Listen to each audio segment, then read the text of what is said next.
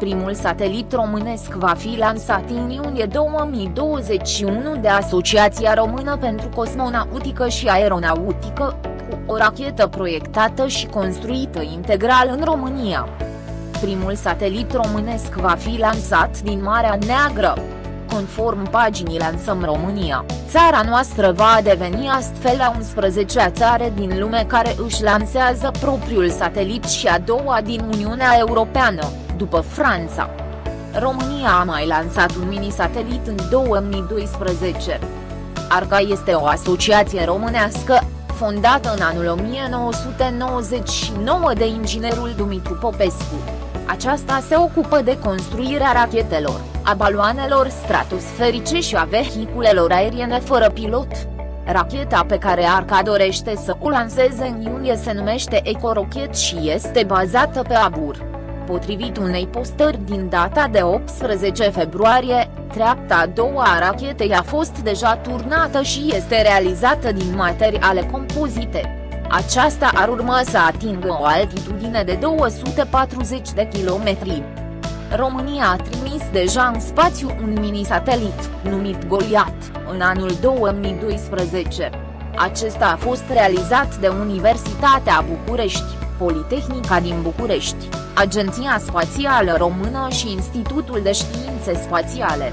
Numai că acest satelit a fost trimis în spațiu cu o rachetă a Agenției Spațiale Europene. Arca participă în cursa pentru premiul de 10 milioane euro oferit de Comisia Europeană. Cursa a fost demarată în anul 2018, când autoritățile de la Bruxelles au pornit proiectul privind dezvoltarea de rachete ieftine, după cum scria Science Business Net. la acel moment primul satelit românesc va fi lansat din Marea Neagră. Competiția europeană este similară cu concursul finanțat de către Ansar X Prize, care a dus pentru prima oară pe orbită un om în anul 2004, fără a apela la resurse guvernamentale. Cursa respectivă a fost câștigată de proiectul inginerului american Purtratan.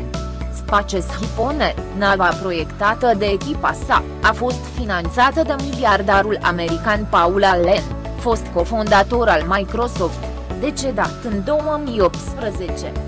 În acest moment, cursa spațială este dominată de companii americane, SpaceX, controlată de antreprenorul american Elon Musk și Blue Origin, deținută de Jeff Bezos. Arca și fondatorul său au o istorie complicată. De-a lungul timpului, aceasta a lansat mai mult rachete și baloane stratosferice și a câștigat două contracte. Unul cu Guvernul României și altul cu Agenția Spațială Europeană. Misiunile de lansare ARCA care includ operațiuni navale sunt cel mai complex tip de misiuni pe care le desfășurăm. Acestea necesită un efort excepțional de coordonare a operațiunilor, în strânsă cooperare cu unități de marină și aviație militară și civilă, implicate în mod activ. Măsurile de siguranță a lansării sunt excepționale, iar noi ne mândrim cu un procentaj de siguranță de 100%, spun cei de la ARCA. Potrivit ARCA, cantitatea de informații prelucrate în timp real și implementarea procedurilor pe partea navală și aeriană sunt extrem de solicitante.